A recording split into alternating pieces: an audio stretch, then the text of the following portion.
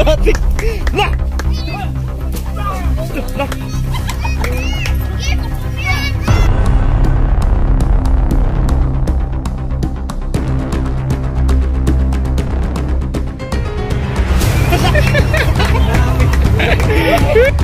Pa-interview natin si Palaklik. Kamuning. Anong masasabi mo sa pelikula kanina? Maintain man, di ko man na intindihan siya. Ah, take two.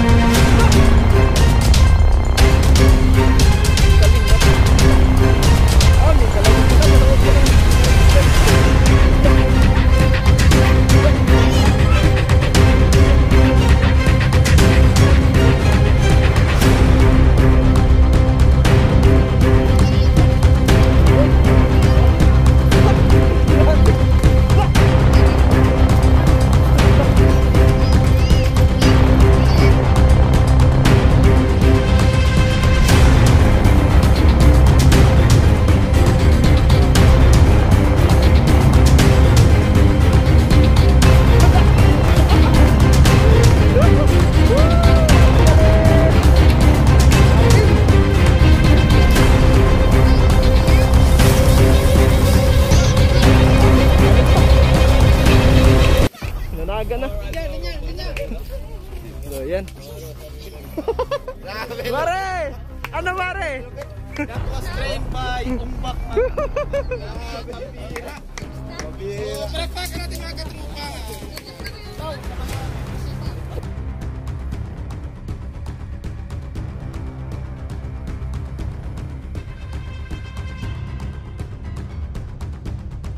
Galing, galing. Galing, the best. Bitin, bitin daw. Oh, bitin. Ayos. ah. Oh, pakichik sa mga buko-buko kaya walang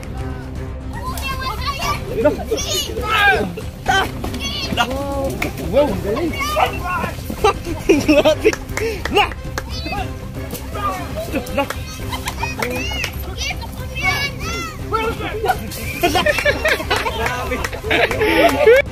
Pa-interview natin si.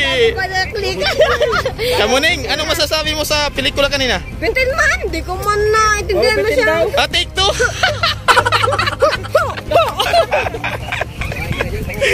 si mga katropa, dito kami ngayon sa birthday ni Umbak. Kung saan, ah, pambihira may mga pakulo pala si Umbak at yung mga katropa niya. So, nagtataka kami at yun pala may pa magandang tanghali at isa tayo sa mga naimbitahan na naman sa ah, birthday ce- celebrant no less than uh, Umbak Boy. So birthday niya today. At isa tayo sa mga naimbitahan at yun no, ang daming mga tao, ah, mga mga bisita nila. At syempre, Dibures Vloggers. Isa na dyan si Kamuning, ay, ay Captain Dodong at iba pa.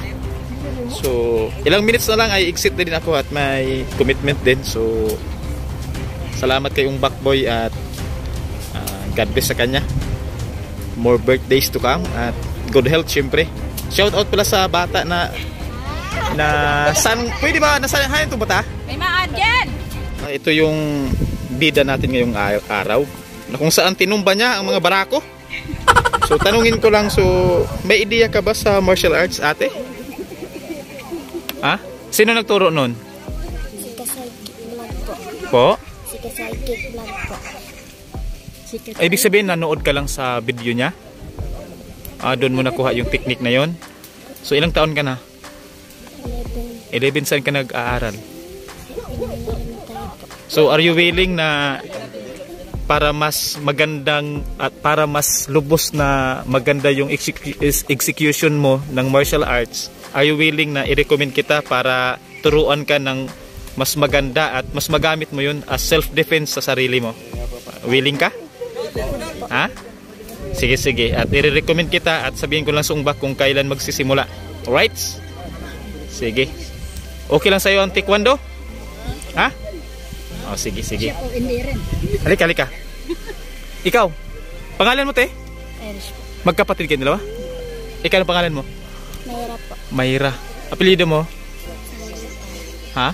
Sanggutan. Ikaw? Sumayang. Sumayang. So, kayong dalawa, ah, willing ba kayo na turuan kayo ng basic martial arts or taekwondo? Ha? Ah, sige.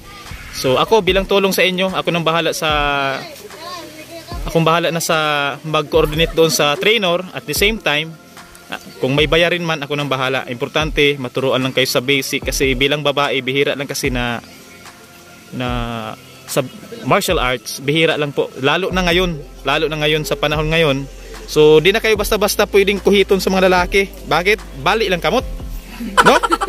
Paras kanina, binugbog. Assuming kasi yon assuming parang ano lang yun, action lang yun na parang ah re-rapin or something na itatouch yung babae pero hindi nila akalain na sila pala ang lahat ay nabugbog. right? Sige, sige. Salamat ah.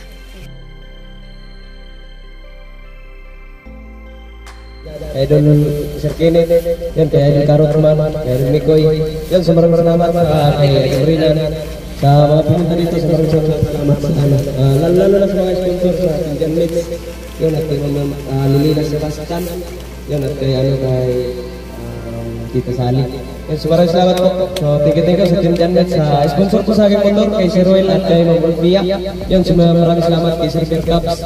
Yun, uh, shout out po sa inyo lahat. So, I love you all po. So, hindi natin tagalin para makakain na po sila. Um, sabi ko lang kay Kuya Umbak at sa lahat ng tao dito at sa pamilya ni Kuya Umbak. Yan, um, alagaan niyo po yung kalusugan ng todo natin lahat. And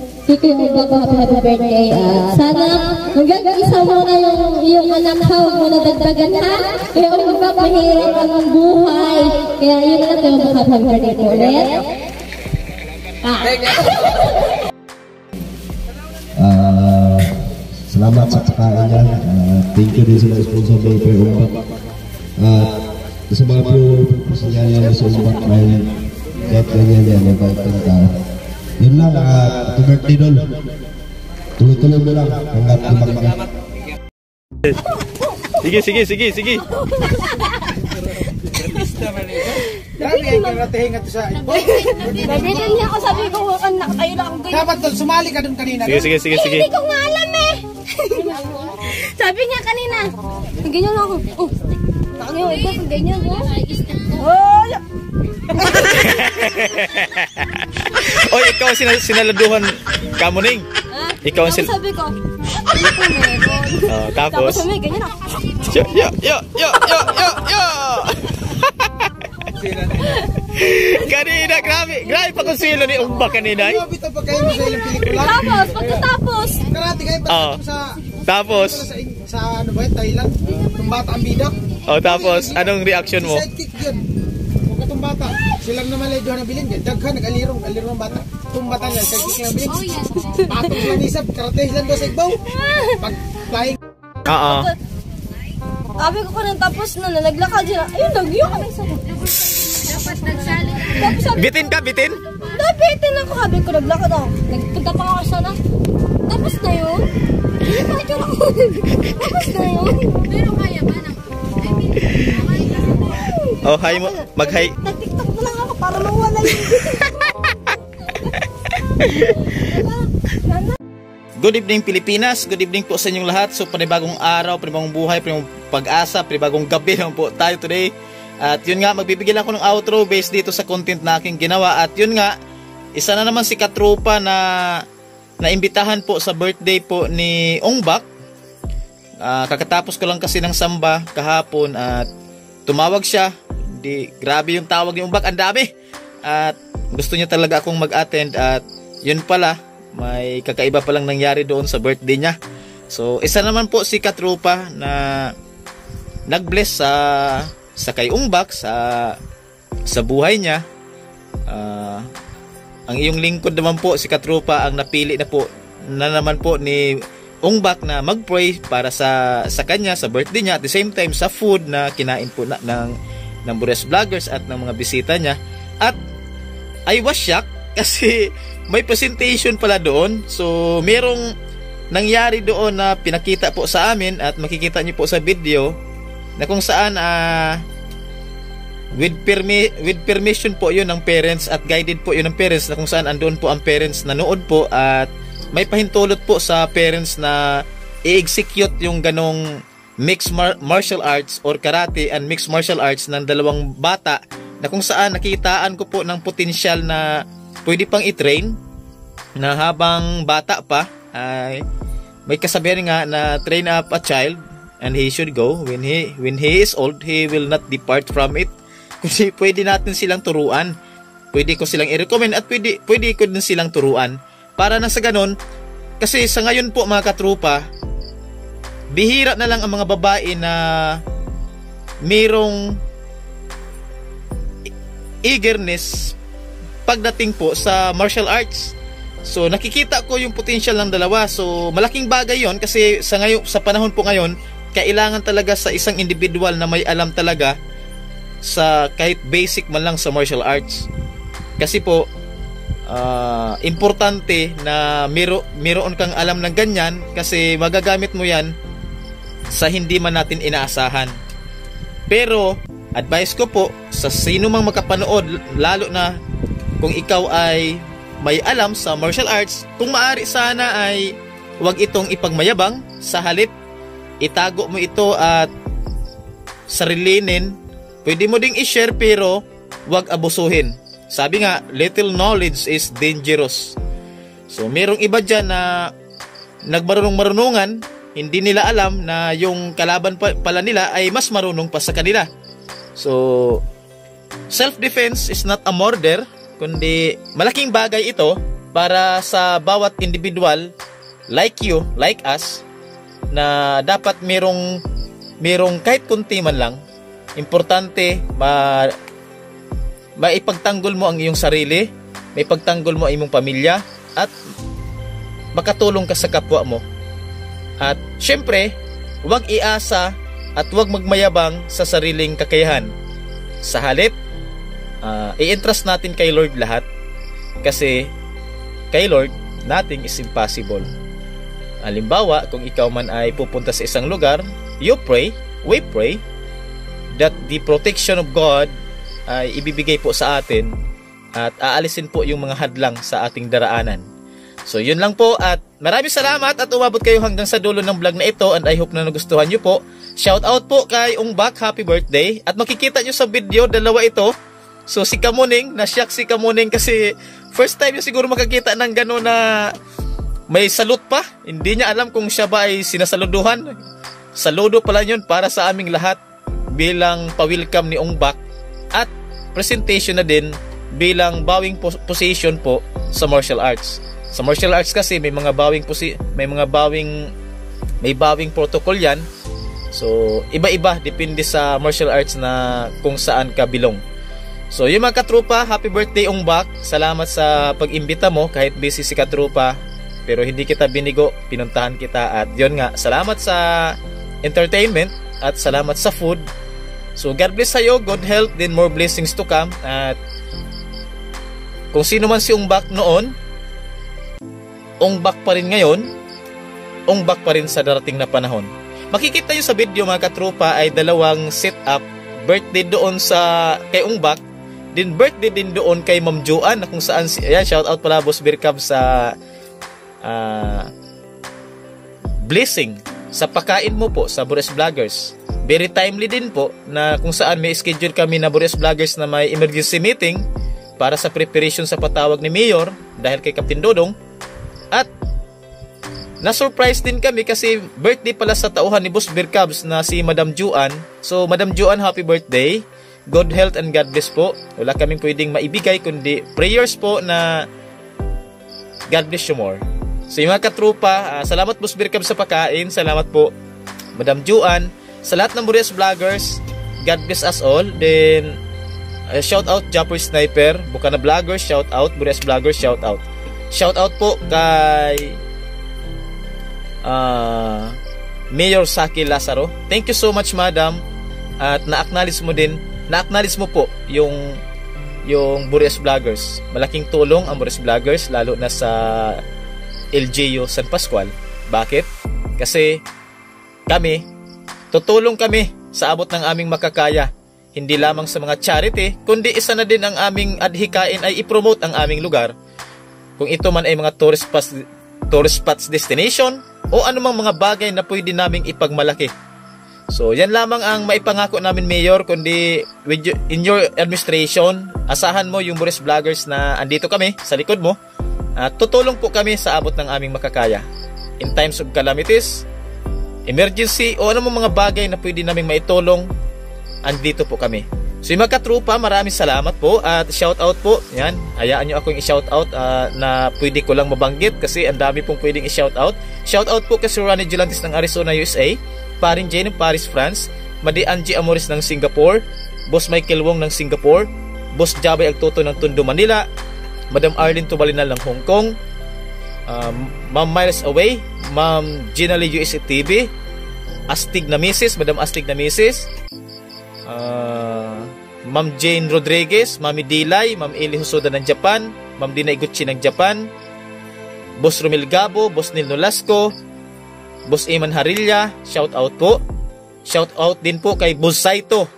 Boss Saito, snappy salo, salute sa iyo boss at salamat po sa kay Ma'am Josephine Urbano ng Australia, shout out madam. Shout out po kay Boss Efren Abit Dino ng Mexico, Amerika at sa family niyo po. Maraming salamat po. Shout out din po sa lahat ng mga katrupa natin dyan. Sword family, subscribers, newly subscribers, katrupa friends. Sa lahat po na tumutulong at sumusuporta na kung saan yung hindi nag-skip ng ads, maraming maraming salamat po at makadagdag po yun sa revenue ni Katrupa. Especially kay Boss Birkab, salamat sa tiwala boss. Salamat dahil majority na Boris Vloggers nakakasahod dahil sa iyo. Kung aasahan lang namin ang aming views, nako po, ah, matagal pa kami makasahod. Pero dahil sa iyo, dahil sa ibang sponsor, dahil sa mga solid supporters, sa inyong mga padala po na palipad, ah, appreciated po masyado ang inyong ginawa. Shout out po Boss Avid Fan sa Tiwala. Shout out po. Maraming maraming salamat.